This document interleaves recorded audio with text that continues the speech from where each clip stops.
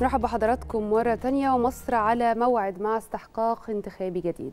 انتخابات رئاسية هيخوض سباقها أربع مرشحين. المرشح سيادة الرئيس عبد الفتاح السيسي فريد زهران وعبد السند يمامة وحازم عمر. جولة انتخابية في انتظار المصريين في كل المحافظات.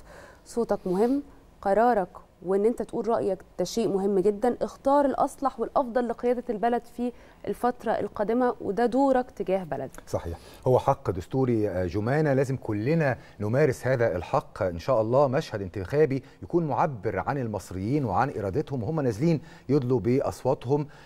يوم واحد دي يعني ديسمبر بعد أيام قليلة يوم الجمعة اللي جاية هتبدأ الانتخابات بالخارج. حوالي 14 مليون مصري بالخارج مدعوون للمشاركة في الانتخابات الرئاسية 2024 قراءة وافيه عن أهمية المشاركة السياسية في هذه الانتخابات. خلونا نرحب بضيفنا الكريم في الاستوديو سياده النائب أحمد فوزي عضو مجلس الشيوخ عن تنسيقية شباب الأحزاب والسياسيين. منورنا في استوديو صباح الخير. صباح الخير على حضراتكم وعلى كل طبعا متابعينا ومشاهدينا.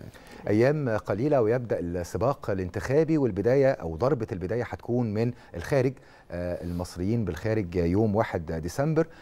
بداية حابب أتكلم مع حضرتك أو تكلمنا عن أهمية هذا الاستحقاق وأهمية المشاركة السياسية للمصريين سواء بالداخل أو بالخارج. طيب في البداية بس يعني خلينا بس نقول إنه الانتخابات الرئاسية هي هي أرفع استحقاق دستوري في العالم كله مش في الدولة المصرية فقط لإنه إحنا بنختار رئيس للبلاد لمدة ست سنوات.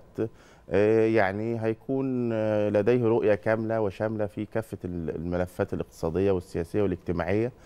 أهمية المشاركة في الانتخابات الرئاسية الحالية تمتاز عن أي انتخابات مضت لأنه في الحقيقة هناك تعددية في عدد مرشحي الرئاسة المصرية وهناك أيضا تنوع في المرشحين. يمكن الانتخابات الرئاسية الحالية لم تشهدها مصر من قبل يعني لم لم نشاهد ثلاث مرشحين بينتموا إلى أحزاب سياسية.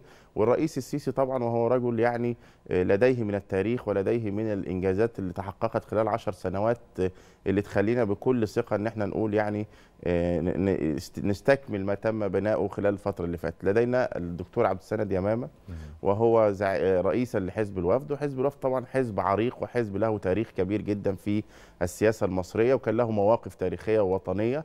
الدكتور فريد زهران وهو أيضا يمثل المعارضه المصريه وحزب المصري الديمقراطي أيضا حزب قوي وله كوادره السياسيه الدكتور حازم عمر وهو رجل سياسي وعضو مجلس الشيوخ ورئيس لجنة العلاقات الخارجية ورئيس حزب الشعب الجمهوري وهو حزب أيضا له كوادره وشعبيته وله أيضا عدد من النواب في البرلمان يتجاوز 57 نائب.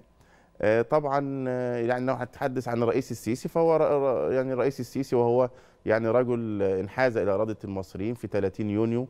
في ثورة مجيدة يعني يعني كادت أن تختطف الدولة المصرية على يد جماعة ظلامية أرادت أن تذهب بالدولة إلى يعني إلى الجحيم. الرئيس انحاز إلى الشعب المصري ومن خلف قواتنا المسلحة الباسلة في ثورة يعني أعادت الدولة المصرية إلى مكانتها وهيبتها في العالم كله وتحقق من الانجازات خلال عشر سنوات لو اتكلمنا عنها. يعني أكيد هنحتاج حلقات كبيرة جدا سواء على المستوى السياسي أو الاقتصادي أو الاجتماعي.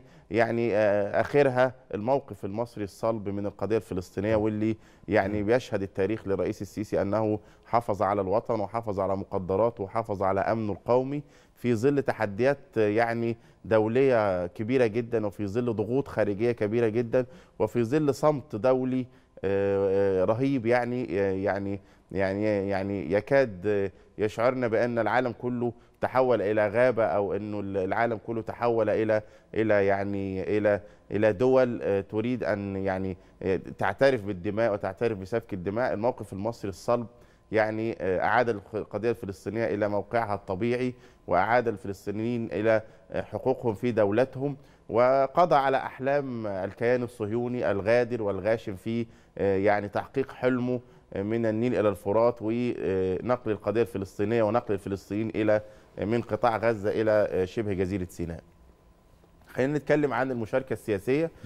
نحن أمام استحقاق دستوري وواجب وطني على كل مصري سواء في الداخل أو في الخارج لأنه المصريين في الخارج لا يقلوا في الأهمية عن المصريين في الداخل لأنه بالعكس آه، يعني يمكن دايما المصري لما بيكون خارج وطنه وخارج دولته بيكون عنده يعني رغبة في المشاركة السياسية الأكبر لأنه آه، يعني بيحس إنه آه، ده بيساهم أيضا في استقرار وعددهم الدولة. كبير برضو 14 مليون. وعدد 14 مليون مواطن يعني هو رقم كبير جدا في الخارج. وأعتقد إنه المصريين في الخارج لديهم من الوعي ولديهم من ال من ال ال الفكر وشايفين اللي بيحصل وشايفين اللي بيحصل في العالم كله هم قريبين يعني وهم موجودين في دول مختلفة وشايفين ال- الضغوط اللي بتمارس على الدولة المصرية عشان يعني ترجع بينا إلى الوراء أو ترجع بينا إلى الخلف. إن شاء الله إحنا يعني يعني متفائلين جدا بأنه الاستحقاق الدستوري والانتخابات الرئاسية هتشهد مشاركة سياسية إن شاء الله هتكون الأوسع في تاريخ الدولة المصرية.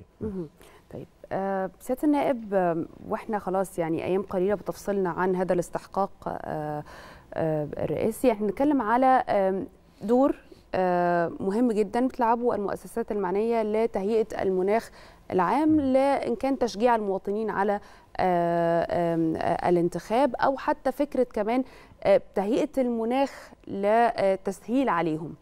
خلينا نعرف من حضرتك دور هذه المؤسسات المعنية إن كان في تهيئة المناخ للمواطنين بالنسبة للانتخابات أو حتى تسهيل الظروف المحيطة بهم الانتخابات. آه، بداية طبعا الدولة المصرية اتخذت من الإجراءات واتخذت من الضوابط آه، اللي بتجعل العملية الانتخابية تسير بشكل يعني آه، منتظم وبشكل أكثر شفافية وحيادية لدينا هيئة وطنية عليا للانتخابات بتشرف على الانتخابات المصرية لدينا قاضي على كل صندوق يعني مشهود لهم والقضاة المصريين مشهود لهم بالكفاءة والنزاهة. آه، اللي هيدوا رسالة إنه كل صوت هيصل إلى المرشح اللي حضرتك هتنتخبه صوتك هيصل إليه بمنتهى النزاهة والشفافية. ودي أكبر ضما- ضمانة للعملية الانتخابية. ويمكن آه، يعني الرئيس السيسي أيضا والدولة المصرية كانت حريصة على أن تجرى الانتخابات في هذا التوقيت حرصا على أن يكون هناك إشراف قضائي كامل على العملية الانتخابية. وده بيعطي رسالة بأن الانتخابات القادمة هي انتخابات حرة ونزيهة. آه، الضمانات الأخرى كمان عندنا يعني يمكن على ال- الجانب الإعلامي يمكن الشركة المتحدة للخدمات الإعلامية خدت موقف آه، يعني محايد من جميع المرشحين وعلى مسافة واحدة من الجميع وأعطت لكل مرشح الحق في 100 ساعة إعلا- آه، دعاية دقيقة. إعلامية سواء على مستوى القنوات أو على مستوى الصحف الورقية أو المواقع الإلكترونية. وده بيعطي رسالة بأن مؤسسات الدولة كلها على مسافة واحدة من جميع المرشحين وإنه الدولة المصرية كلها يعني بتسعى إلى أن تكون انتخابات المصرية القادمة انتخابات يعني مشهود لها أمام العالم كله بأن دولة بحجم مصر انتخابات تليق بمصر انتخابات تليق بدولة لها تاريخ وباع كبير جدا في السياسة وال- وال- وفي العالم كله. آه، تابعنا مبادرة أطلقت من جانب الهيئة العليا آه، للانتخابات آه، بالتعاون مع وزارة الشباب والرياضة. فيما يتعلق بتقديم ندوات توعوية للشباب وحث الشباب على المشاركة السياسية. وإحنا بنتكلم على قطاع مهم جدا شريحة مهم جدا بتتهم دائما بأنها يعني لديها عزوف عن الحياة السياسية أو تبتعد عن ممارسة حقها آه، السياسي. آه، شايف آه، أهمية مثل هذه الندوات التوعوية إيه؟ وأهمية الشراكة اللي بتحصل ما بين الهيئة الوطنية العليا للانتخابات وجهات أخرى في الدولة معنية بحث المواطنين ورفع وعيهم بالنسبة للمشاركة السياسية. طبعا بأسمن ما قامت به الهيئة الوطنية للانتخابات بالتعاون والشراكة ما بينها وما بين وزارة الشباب والرياضة لعمل وعقد ندوات لشبابنا في مختلف المحافظات المصرية للتوعية بأهمية المشاركة السياسية والمشاركة الانتخابية. وخلينا أقول برضو أكد على أنه يعني ما تحقق خلال السنوات اللي فاتت في عهد الرئيس السيسي في تمكين في ملف تمكين الشباب تحديدا يمكن لم يحدث في تاريخ الدولة المصرية والرئيس السيسي هو الذي أعاد للشباب يعني ثقتهم في الدولة المصرية منذ أن تولى في عام 2014 وبدأ الرئيس السيسي في عملية تمكين واسع للشباب في كافة مناحي الحياة السياسية والاقتصادية والاجتماعية. يمكن الدولة المصرية في عام 2016 أطلقت مؤتمرات الشباب الوطنية واللي كان لها دور كبير جدا في التواصل المباشر ما بين الدولة والشباب. كمان أطلق البرنامج الرئاسي لتأهيل صحيح. وتمكين الشباب وكمان أطلقت الأكاديمية الوطنية للتدريب والتأهيل أخيرا في 2018 يعني تنسيقية شباب الأحزاب والسياسيين وهي أحد مخرجات مؤتمرات الشباب الوطنية. آه، يعني الشباب المصري أصبح موجود على يعني رأس ال- السلطة في مصر. الشباب المصري موجود في كل في البرلمان موجود في الجهاز التنفيذي والجهاز الإداري للدولة موجود في آه، يعني كافة ال- ال- المناحي اللي موجودة. أعتقد إنه الشباب علينا أن أن نشارك بكثافة لأنه ده هيعزز أيضا من وجود الشباب خلال الفترة القادمة وتمكينهم أكثر تمكين في الفترة اللي جاية. كمان المرأة المرأة شهدت عصرها الذهبي في خلال العشر سنوات اللي فاتت ويمكن الدولة اتخذت من القوانين والتشريعات اللي مكنت المرأة تمكينا سياسيا واقتصاديا واجتماعيا. يمكن لو نظرنا إلى المرأة هنجد المرأة في البرلمان يعني زاد تمثيلها من 2012 ل 2020 بشكل يعني كبير جدا. يمكن صحيح. المرأة في 2000 برلمان 2012 كانت نسبة مشاركة المرأة لا تتعدى 2% برلمان 2015 تجاوزت 14.7 من 10% برلمان 2020 تجاوزت 27 و8 من 10% ودي طبعا نسبة لم تشهدها الدولة المصرية في تاريخها. ويمكن الرئيس السيسي يعني اتخذ من القرارات والقوانين ويمكن التعديلات الدستورية الأخيرة اللي أعطت للمرأة الحق في أن تمثل داخل البرلمان بنسبة لا تقل عن 25% وده بالفعل أعاد للمرأة مكانها الطبيعي باعتبارها نصف المجتمع. مكاسب كثيرة سياسية واقتصادية واجتماعية تحققت خلال الفترة اللي فاتت. أعتقد أن المشاركة الواسعة في الانتخابات هي الضمانة الوحيدة لمزيد من الضمانات ومزيد من المكاسب على جميع المستويات. آه، بالمناسبة كمان هناك مكسب أيضا من هذه الانتخابات بجانب يعني مين اللي هيكون رئيس الجمهورية القادم؟ الأحزاب السياسية عليها أن تستفيد من هذه التجربة لأنه بالفعل لم تكن عندنا تعددية وتنوع في مرشح الرئاسة من قبل ودي فرصة تاريخية للأحزاب السياسية أنها تكون موجودة وتثبت للجميع بأن الأحزاب موجودة وبأن الأحزاب لها قواعد شعبية وبأن الأحزاب آه، بالفعل إذا أتيحت لها الفرصة آه، لكي تكون متواجدة أعتقد أنها تكون سر مؤثرة تاني الأدوار الحزبية للشارع المصري ده كان كان في غياب تام للأحزاب في الشارع المصري. طيب سيادة النائب يعني من خلال حضرتك يعني حضرتك سيادة آه، آه، نائب عضو مجلس الشيوخ عن تنسيقية شباب الأحزاب والسياسيين. ده بيخليك دايما في تفاعل مباشر مع الشباب على أرض الواقع. شايف من خلال هذا الدور اللي حضرتك تلعبه مدى آه، أو نسبة مشاركة الشباب في هذه الانتخابات وإيه الدوافع اللي ممكن تكون موجودة عند الشباب دلوقتي عشان يقدر يشارك في هذه الانتخابات وإنه يكون ليه رأي ويكون ليه دور مسموع يكون مسموع كمان في في الشارع. طيب إحنا تحدثنا عن ملف تمكين الشباب تحدثنا عن المكاسب اللي تحققت للشباب خلال الفترة اللي فاتت. عندنا استحقاق هام جدا. آه، هيعقب انتخابات الرئاسة هو انتخابات. المجالس الشعبية المحلية. وده أعتقد إنه يعني المجالس الشعبية المحلية هي يعني طبقا للدستور والقانون آه، 25% من تمثيل المجالس الشعبية القادمة من الشباب. الشباب. وده التزام دستوري لا يمكن الحياد عنه بأي شكل من الأشكال. وده نسبة على الأقل يعني ممكن أن تزيد لكن لا يمكن أن تقل بأي شكل من الأشكال. مشاركة الشباب في الاستحقاق الحالي هو رسالة بانه الشباب المصري آه، يعني مدرك لحجم التحديات اللي بتمر بها الدولة المصرية مدرك للمكاسب اللي تحققت خلال الفترة اللي فاتت متمسك أيضا بالمزيد من المكاسب خلال الفترة القادمة. آه، انتخابات المجالس المحلية ويمكن يعني آه، خلال جلسات الحوار الوطني اللي كانت قبل الانتخابات الرئاسية مباشرة وأنا شرفت باني كنت عضو لجنة الإدارة المحلية داخل الحوار الوطني.